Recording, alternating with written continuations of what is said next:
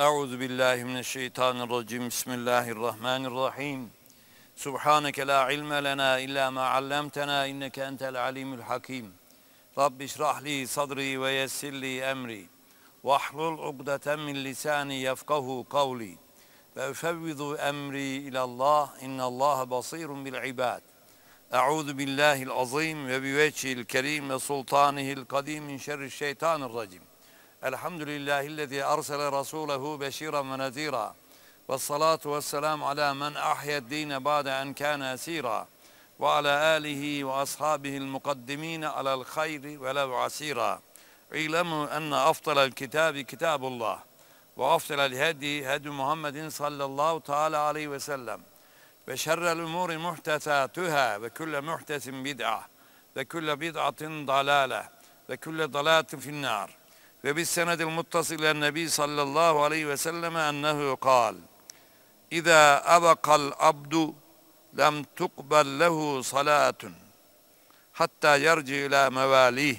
Sadaka Resulullah sallallahu aleyhi ve sellem. Peygamber Efendimiz sallallahu aleyhi ve sellemin cümle peygamberan rızam aleyhim salavat ve teslimatın ehli beyt el asab etbaları rıdvanullah aleyhim ecmainin bil cümle ahirete irtihal eden mümin müminat, rahmetullah aleyhim ecmainin. Hasaten eserinden yararlandığımız Ahmet Ziyaddin Gümüşhanevi ve üstazlarının kendisinden feyiz aldığımız, ilim hasrettiğimiz üstazlarımızın, meşafenlerimizin hazırun ve dersimiz dinleyen kardeşlerimizin tüm geçmişlerimizin için El Fatiha. Bismillahirrahmanirrahim.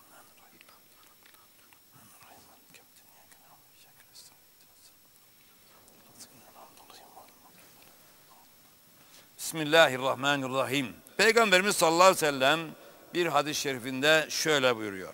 İza ata ahadukum firashehu felyekul Allahumme rabbes semavati ve rabbel ardı Rabbena ve Rabbe külli şey.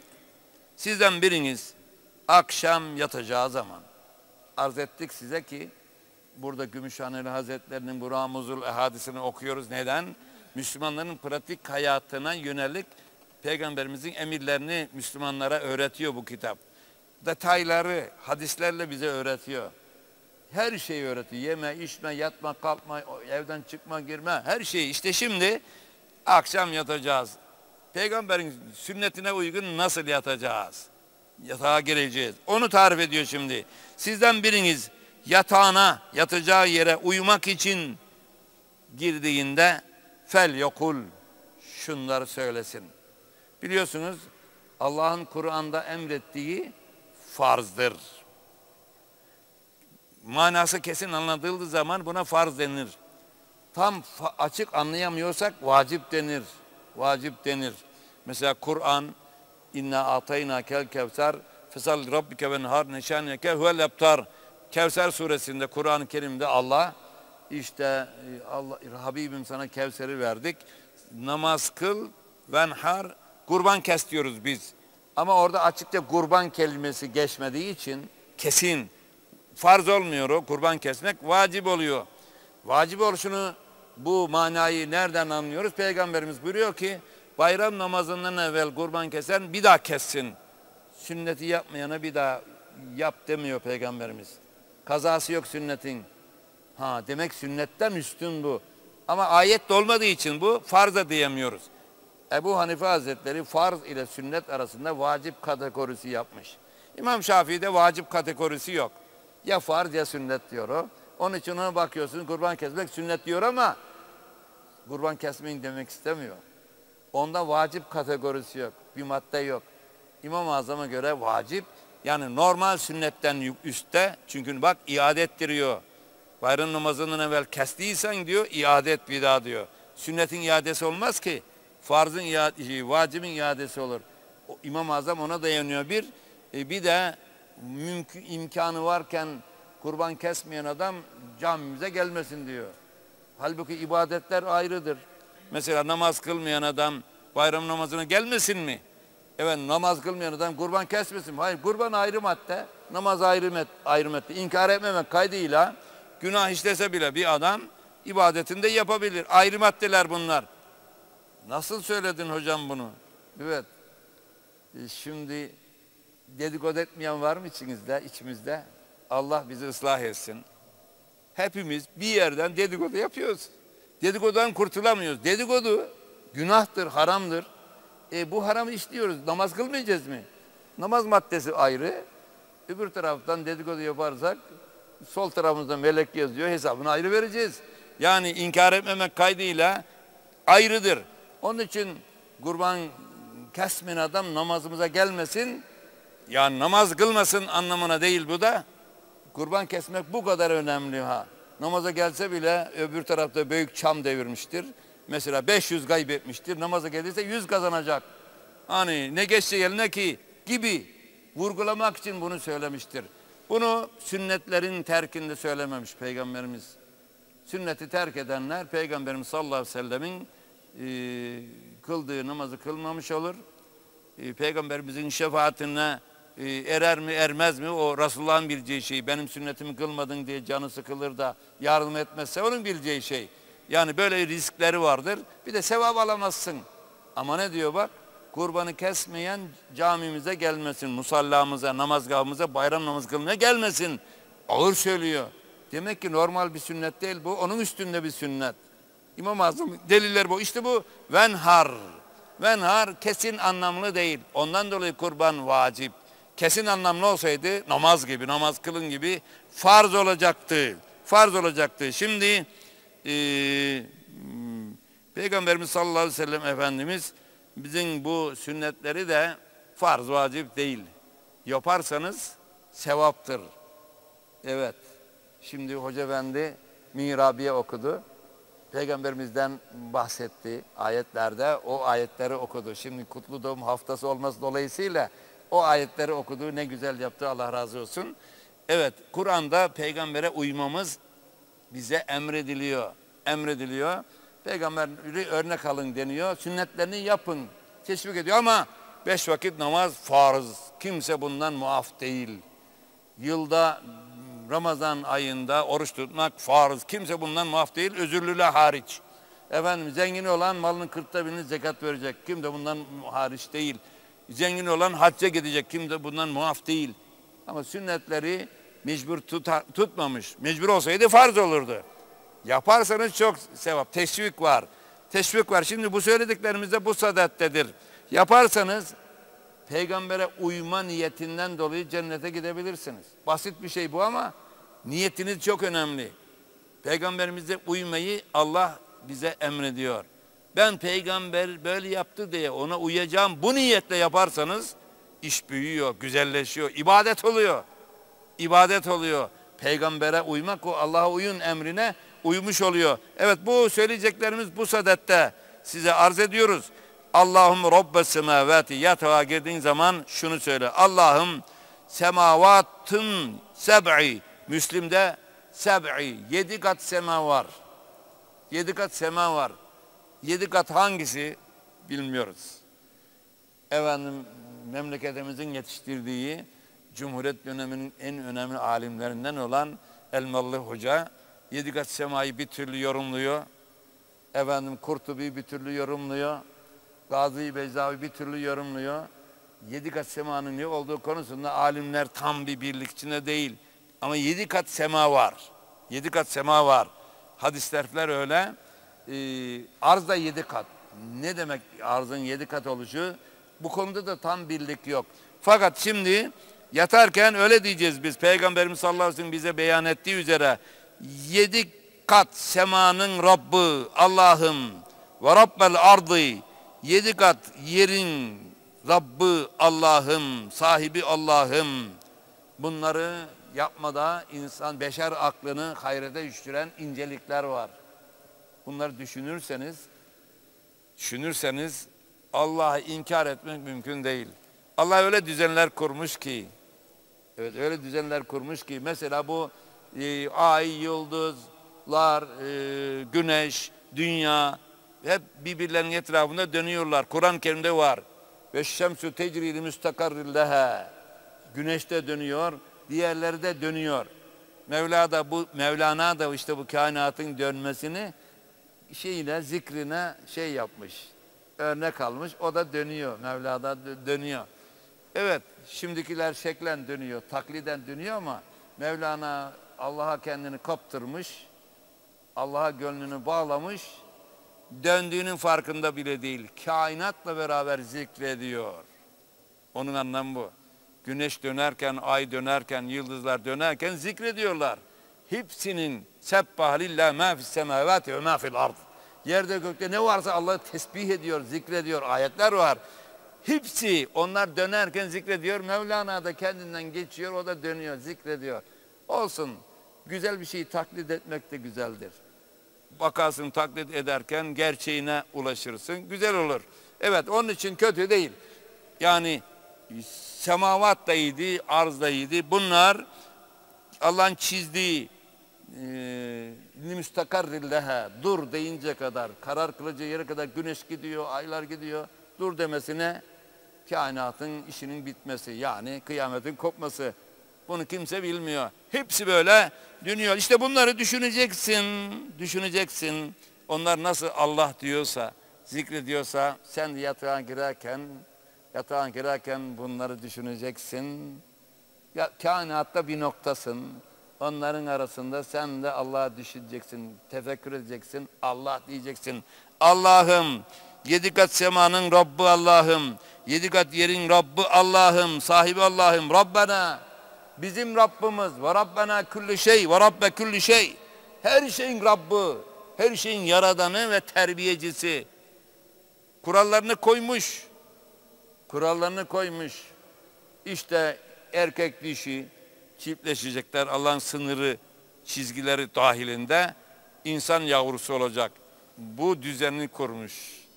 Evet hayvanlarda da böyle. Ondan sonra işte bir çocukluk devri var, gençlik büyük. Efendim yıldızlarda düzen, yukarıdan bırakılan taş düşer, yer çekimi. Bu düzeni Allah kurmuş. Kar yağıyor, kar tanelerinin hiçbiri birbirine uymuyor. Kim kim emrediyor buna? karların taneleri birbirine değse de kütle olsa bir tane canlı kalmaz. Hepsini ezer. Büyük kütleler, kar kütleleri çığ diyorsunuz siz ona kaç kişinin canını alıyor değil mi? Bakın Allah'ın büyüklüğüne. Ne kadar kar yağsa birbirine değmiyor. Değse top olur ve ezer her tarafı, evleri yıkar. Koca kütleler olur. Allah'ın kudretine bak. Kim koydu bu düzeni? Yağmur taneleri de öyle. Yağmur taneleri de birbirine değse sel olur. Bir tane canlı bırakmaz. Kim koydu bu düzeni? Bunları hep düşünürseniz kainatı böyle düşünüp Allah'ı inkar etmek mümkün değil. Bu düzeni koyana biz Allah diyoruz. Bu bu kudret sahibine Allah diyoruz. İşte bunları ey Rabbim, semavatın Rabbi, yerin Rabbi, bizim Rabbimiz, her şeyin Rabbi olan Allah'ım ente ahizun binasiyetihi sen sen e, her şeyin her şeyin saçından perçeminden tutansın. Ne demek bu? İstediğin şekilde onları kullanırsın. Yetki senin, on, kudretin elin, on, hepsi kudretine emrinde, kudretine tabi. İstediğin şeyi onlara yaptırırsın. Evet, birisinin saçına tuttunuz mu canı acır, istediğin yere götürürsün. Ha.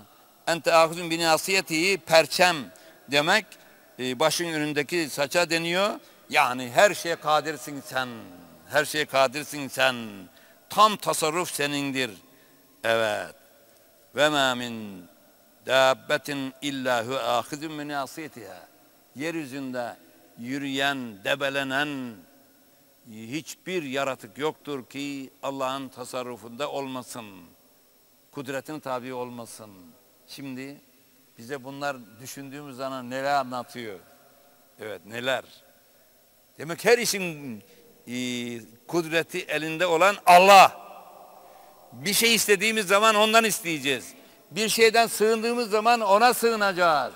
Öyle diyor bak her yaratığın ipinin ucu Allah'ın elindedir. O istediği şekilde böyle onlara emreder, yön verir. Buradan nereye gelmek istiyorum? Efendim Peygamberimiz sallallahu aleyhi ve sellem dağlara çıkarmış. Mesela Uhud dağına çıkmış. Yanında Ebu Bekir var, Ömer var, Osman var. Tabi Uhud dağı peygamberimiz çıkınca sevincinden böyle oynamış. Neredeyse düşürecek. Sevineyim derken. Ey Uhud üstünde bir peygamber iki şehit. İş iki şehit var. Bir de sıddık var.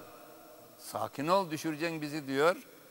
Şimdi böylece Hazreti Ömer'le Osman'ın şehit olacağını daha o zamandan haber vermiş.